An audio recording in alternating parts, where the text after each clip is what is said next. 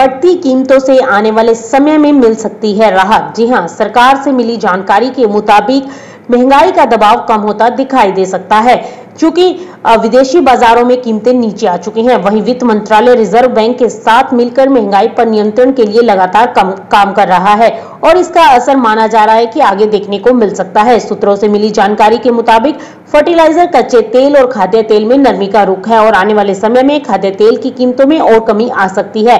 वहीं सूत्रों से मिली जानकारी के मुताबिक क्रिप्टो करेंसी बिल पर भी काम जारी है और जाँच एजेंसियाँ वजीरेक्स मामले पर भी नज़र रखे हुए हैं। आपको बता दें कि मिली जानकारी के मुताबिक जमीनी स्तर पर जो जानकारी मिल रही है, उससे पता चलता है कि खाद्य तेल और कच्चे तेल के दाम नरम हुए हैं। मानसून अच्छा रहने का अनुमान है। इन सबको देखते हुए आने वाले समय में महँगाई दर को लेकर दबाव कम होने की उम्मीद जताई जा रही है। वहीं आने वाले समय में खाद्य तेल के दाम और घट सकते हैं। उल्लेखनीय है कि खुदरा मुद्रास्फीति लगातार भारतीय रिज़र्व बैंक के संतोषजनक स्तर से ऊपर बनी हुई है। जून महीने में महँगाई दर सात दशमलव ज़ीरो एक प्रतिशत रही है। रिज़र्व बैंक को दो प्रतिशत खटबट के साथ मुद्रास्फीति को चार प्रतिशत पर रखने की ज़िम्मेदारी मिली हुई है और ये लगातार छह महीने से संतोषजनक स्तर से ऊपर बनी हुई है।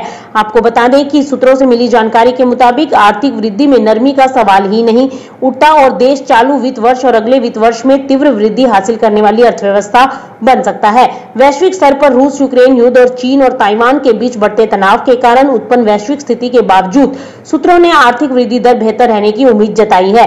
बढ़ते व्यापार घाटे और उसके कारण चालू खाते के घाटे पर पड़ रहे असर के बारे में कहा जा रहा है कि अंतर्राष्ट्रीय बाज़ार में ईंधन के दाम में कुछ नरमी आई है। उर्वर के दाम भी कम हुए हैं। इन सबको देखते हुए कैड में आगे कमी आने की उम्मीद जताई जा रही है। Bureau report, Market Times TV.